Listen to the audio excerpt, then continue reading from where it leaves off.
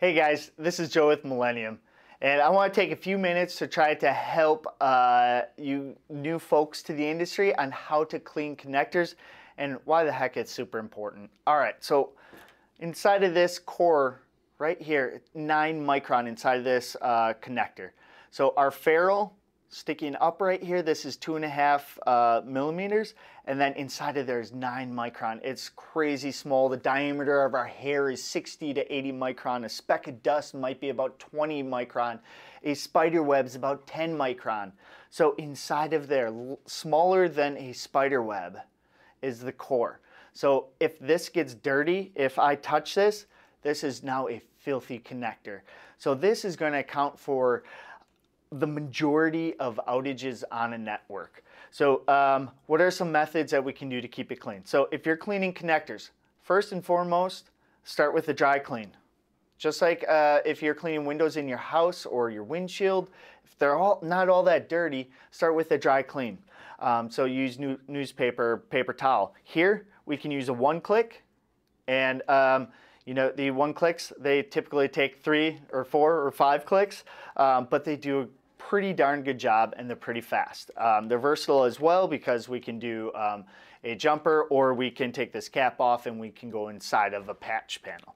Um, so this is, you know, the, the quick, easy method right here.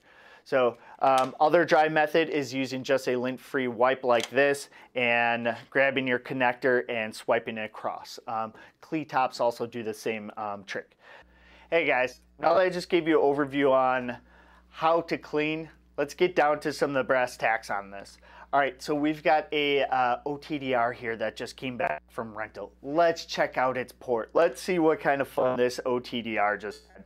All right, so I'm gonna plug in my inspection probe, make sure you swap out your tips based on whether it's APC, UPC, um, or if it's a bulkhead or a uh, jumper. You gotta make sure you swap your connectors. Um, if you want to reduce the amount of um, connectors you need, uh, pro tip, use a bulkhead adapter. All right, so let's uh, start inspecting this probe, this connector, sorry, this connector. Um, looks like it's going to, oh, it passed. All right, so it's kind of dirty. We can see some um, dust and debris in here. Um, you see these big chunks out here. You know what? That's okay. We don't really care about that um, because the core is smack dab in the middle here. That's where our light's transmitting. So who cares about that dirt way out there? But what's kind of cool about this is I can tell that somebody connected a dirty connector to this um, while it was out on rent. So here we've got these green dots and they make a light circle around here. So that is uh, much like taking a thumb and putting on somebody's uh, glass window and then um, taking a step back and seeing your thumbprint left on there. So we're seeing the thumbprint of a dirty connector right now. Um, to clean ports, one-click cleaner is quick and easy.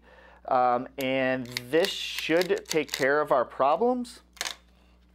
Again, we always want to start with a dry clean. Um, one, because it's uh, quick and easy. And two, we're not introducing any extra potential uh, contaminants. Um, all right, so let's see if that got rid of our ring. Voila, that looks pretty to me.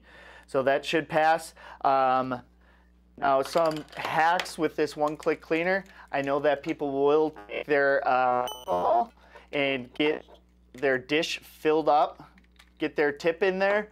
So that floss is now saturated with alcohol. Do a couple clicks, um, let it evaporate, go back and do a dry clean.